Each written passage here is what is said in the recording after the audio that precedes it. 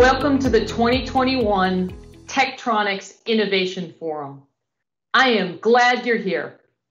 We appreciate that you've carved out time for what promises to be a rewarding event full of insights, learnings, and connections from more than 40 guest speakers. In our worlds, the world of technology, it's common to hear that we live in unprecedented times. But at this moment, as we emerge from a global pandemic and transition into a new future of work, it's never been truer. The rest of the world is looking to us, the engineers and the problem solvers, to chart our course. One designed not only for speed, but for sustainability. One that demands our batteries, they last months or years, not days. And one built to move volumes of data that we could barely fathom even a decade ago. The pandemic, it's proven that even when it appears the world's at a standstill, all of you continue making a better future. It's just who you are. Today, we come together in a shared spirit, whether you're a longtime partner or a new collaborator, we are here to engineer the future, which means thinking differently than we did in the past. This means taking advantage of the cloud, analytics, and artificial intelligence to help global teams of engineers and scientists collaborate faster with colleagues all over the world.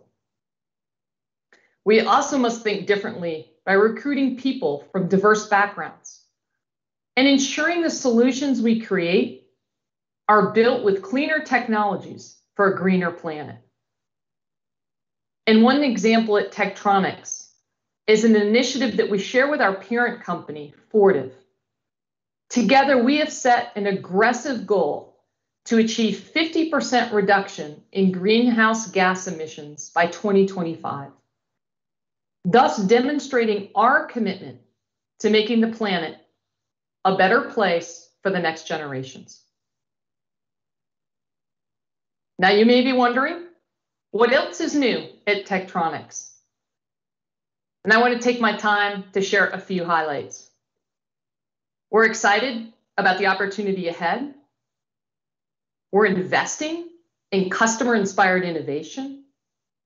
And we're working together with you, our customers, our partners, and the Tektronix team to deliver results. So let me start with the exciting opportunity I, see ahead of us. You know, one could credit the latest 5G network deployments. You all live in the technology world. You most likely know the next generation of wireless standards support 100 times more devices in the same space. Instead of 10 devices, 1,000 devices. We also get exponentially more bandwidth, and improved connectivity. One might credit Moore's Law for continued advancements in wafer technology and material science that has enabled semiconductor chips that have more performance, more functionality in a smaller and smaller footprint that uses less power. Well, we must recognize and give credit to the impact over the last decade of cloud technologies, new consumption business models, analytics, artificial intelligence. Whether you're a startup company or a global enterprise, data storage, analytics, and AI have become almost democratized and unlimited, accessible from any place with a pay as you grow model. Yet, my credit, it really goes out to the people joining us today. You are the problem solvers, the relentlessly curious, the ones who ask why, why not, and what if. You see things differently. You never say never. You're the ones who push the boundaries in science and technology to start making tomorrow better today. Technology advancements, they've been happening for decades. Those are the enablers. Yet it's you, yes, you, you're the one that's making the difference by applying your engineering know how, your problem solving skills to every single industry. Think about the industries being impacted by technology today. Agriculture, weather prediction, medical, manufacturing, and the use cases, whether it's life changing electronics for a child with a disability to our aging parents, or maybe the safety from unpredictable weather events to the safety of my dog, knowing that he's home okay. You think about the devices, mobile phones, they've been getting better and better for a long time, many years. How about sensors? Teeny tiny sensors that can go inside your body, or drones, robotics, electronic vehicles, autonomous driving. The simple fact is that connected electronic devices, from sensors to potentially electric powered tractor trailer trucks, are growing exponentially, regardless of the vertical. And that is good for everybody that's joining us here today. As all of you, our customers, push the boundaries of technology, in turn, you push Tektronix. We've got to innovate to figure out how to test and measure at the cutting edge of electronics and material science. And this leads me to how we are listening to you, our customers, and investing in a new approach to innovation. I mentioned this is a special year for Tektronix. It was 75 years ago, an Army veteran with a knack for tinkering with the radio and radar equipment began his own path to engineer the future. One of our founders, Howard Vollum's relentless curiosity and personal drive for innovation put our company on a trajectory from which we never left. We were initially known for the very first oscilloscope that allowed the engineer of a different era to see signals over time. The staying power of Tektronix is a testament to our commitment to innovation and the time-tested relationships with all of our customers. Thank you for your trust. Thank you for your loyalty. But most of all, thank you for sharing with us your impossible challenges. It's the relentless pursuit of problem solving, your most important problems, that has always fueled our innovation. At Tektronix, we've built a process for investing in new ideas that are born from working directly with you. This is called our growth acceleration process. I like to think of Tektronix as a 75-year-old startup company. Our teams with Inside Tek, they get to live in the best of both worlds. They get the agility and energy of startup with the funding and the support of an enterprise company that has the resources to provide elite coaching, innovation tools, subject matter experts, and customer access. The growth accelerator process begins with a phase we call dream. And the first gate in the dream phase is the idea gate. This is where teams pitch ideas. A team, it could be one person, can complete 10 to 12 hours of market work and bring an idea to our growth board. Assuming the idea aligns with our strategy and they've done good market work, the team gets initial resources or funding to go better understand the magnitude of this customer problem. With success, a program moves into the next two phases where teams get additional funding to go validate potential solutions to the, to the problem and to the business model. If a team passes all the gates, and it's hard, only 30 to 40% of the ideas make it all the way through the funnel. But if they do, this program goes into our agile development team where they begin to initiate a new program. Our growth board consists of five senior leaders that act as coaches and advocates to give our innovators the best chance of success from a creative idea to bringing it to market. The growth board has access to early stage investments, and we follow that with metered funding.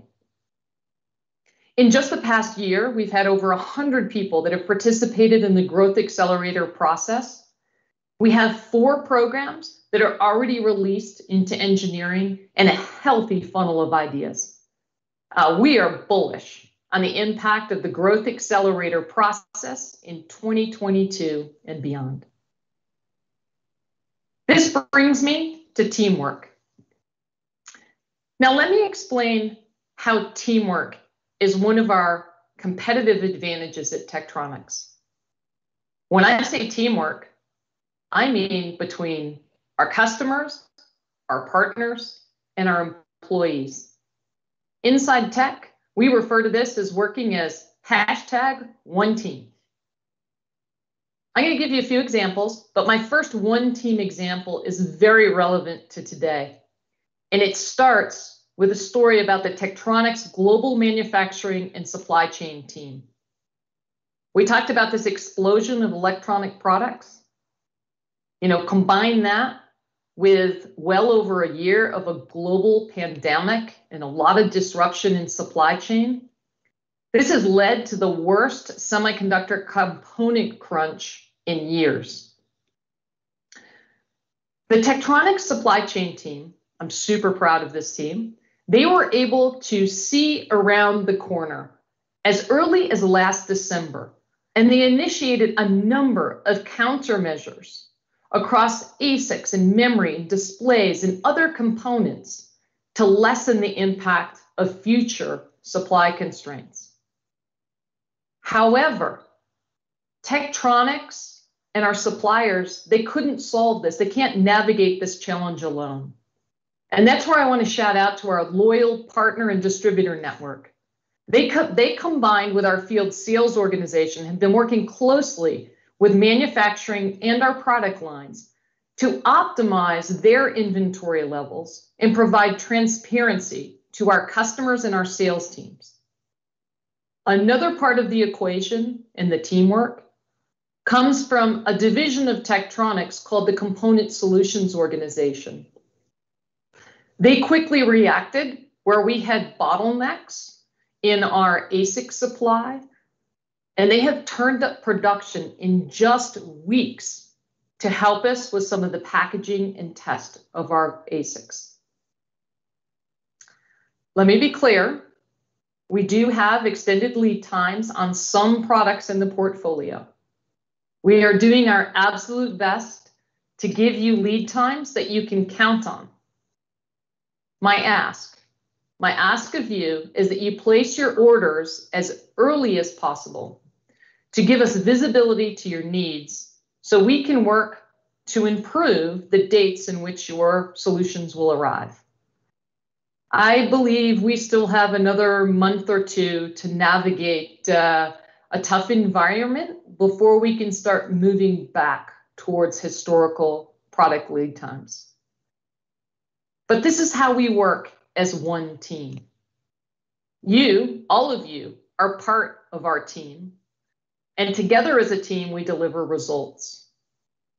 I, I'm excited to share on the Fortive earnings call, the last one, just recent one, Tektronix was celebrated for our growth in every single region around the world.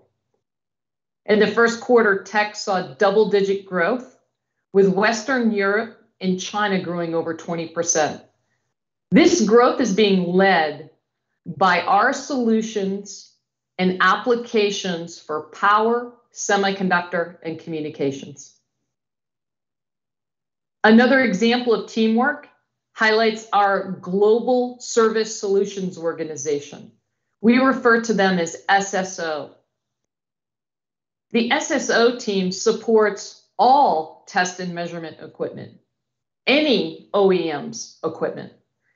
And during the COVID pandemic, many hospitals and critical care facilities needed their devices calibrated. While some of our competitors pulled back during these times, the Tektronix field technicians proved that customers can count on us when it matters most and when lives are on the line. My last call out is our teamwork with NASA. We have worked with the US Space Agency since the Apollo moon landing more than 50 years ago. Earlier this year, when NASA landed a rover on the surface of Mars, the Tektronix team got a note. NASA Mission Control was still cheering their engineering feat, yet they took a moment to write us a thank you. I want to read part of it to you. Today is just a moment in time, but it shows what is possible and the amazing amount of effort and teamwork everyone put in to making a landing on another planet such a success. NASA didn't have to acknowledge our part of their success. I don't know many engineers who do their work for the glory, but the fact that they did spoke to their appreciation of our teamwork. At their biggest moment of the year, just when everything was going right, they took the time to acknowledge Tektronix. Today, I want to do the same to you. We couldn't engineer the future without you. The customers we will learn from, the up and coming engineering students who inspire us, and the many Tektronix colleagues around the world you're going to meet at this innovation forum. The days ahead, you're going to hear from world-class engineers and a leadership, my leadership team, for deeper dives into solutions and empowering our customers around the world. Today begins new connections for you. So please take a moment to use this virtual platform to connect with the Tektronix team.